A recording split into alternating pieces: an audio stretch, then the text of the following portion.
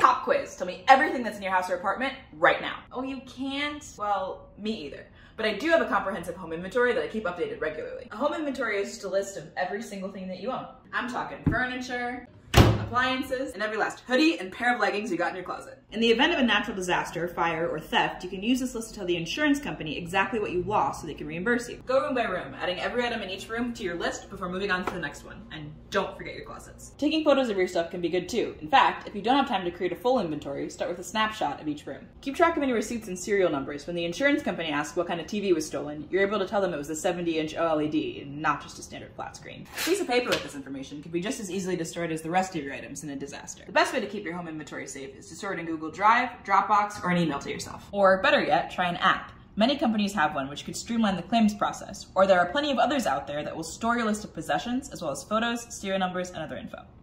Quiz time, but don't worry, it's open notes.